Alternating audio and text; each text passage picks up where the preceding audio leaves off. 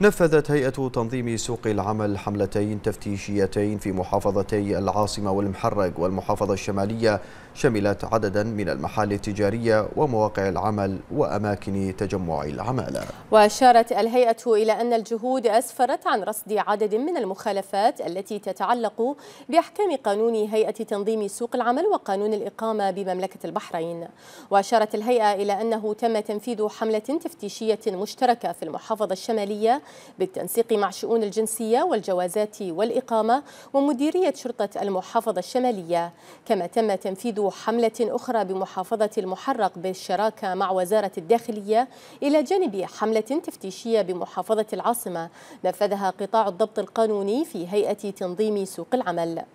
وجددت هيئة تنظيم سوق العمل دعوتها جميع أفراد المجتمع إلى دعم جهود الجهات الحكومية للتصدي للممارسات غير القانونية في سوق العمل والعمالة غير النظامية.